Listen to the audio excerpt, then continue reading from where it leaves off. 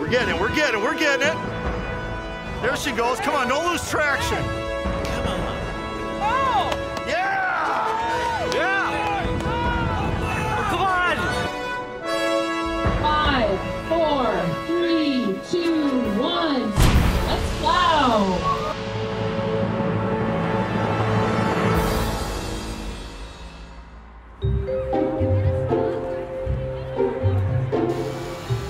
In St. Paul, Minnesota for the Institute of Navigation's Autonomous Snowplow Contest. It's a yearly competition that invites university and college engineering students to use their navigation and control technologies to create robots with the sole purpose of clearing as much snow as possible from a designated area without any human intervention. Engineers kit out their vehicles with radio beacons, lasers, optical and ultrasonic sensors so that the robots can autonomously navigate themselves. With thousands of dollars in prize money at stake, plus a whole lot of bragging rights, the robots and their makers get ready to plow.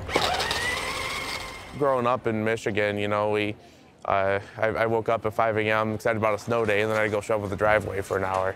The idea is that, that this would re completely replace someone having to do that. And uh, especially in bigger cities such as St. Paul, where we are right now, it could be very helpful to have these robots working at night to clear all of the snow. That way, when everyone's coming to work the next day, there it could decrease the number of slips and falls from the ice and that kind of thing. Our first team up is the University of St. Thomas, one of our hometown teams. Any Tommies out We're using a, a laser rangefinder uh, technology called LiDAR that can map your uh, an unknown environment and sort of learn what your driveway looks like. So it can now navigate that space to plow your driveway. And this is our robot Auto XL. The things that we need to do to have a really good run is really stay on track with our localization and our path planning to make sure that we uh, we plow the exact path that we want and move the most amount of snow out of the way. There's a huge deduction for miss, for hitting obstacles, so we have to miss our obstacles if we want to get into first place. This little guy right up here, it's a ultra wideband beacon. It uses a radio frequency to communicate with other beacons that we place around the field. That gives you the distance between this and all the other beacons, and from that you can back out the robot's location. So we have to de detect a stop sign during our competition run. We have two webcams here, and they're just looking for red octagons, and they stop whenever they see that.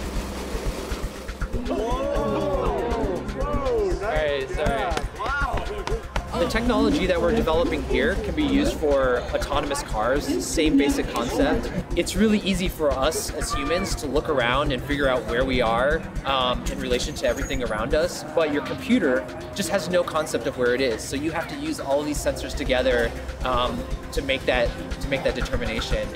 And I think we're done. All right, done. Yeah, that was great.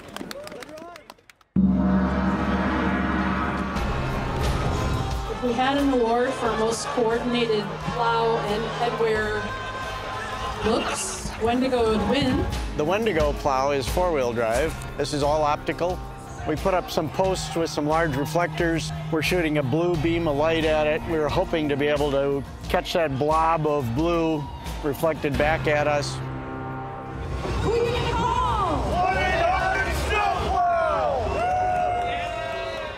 So Snow Devils takes kind of a simple approach to autonomous navigation. Um, we actually use magnetic sensors and a magnetic uh, strip.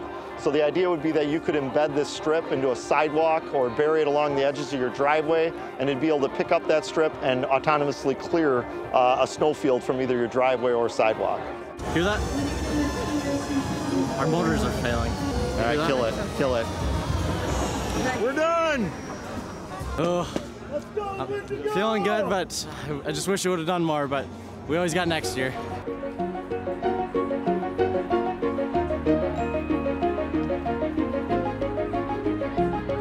The first place for this year, after a long weekend of uh, competition and lots of challenges, the Team Auto XL, Case Western Reserve University. Just seeing how much progress that the autonomous car, for example, is coming out Um, I'm very excited about the future for autonomy and for artificial intelligence. I think it, I think it can just do so much good. It can say, it can literally save so many lives.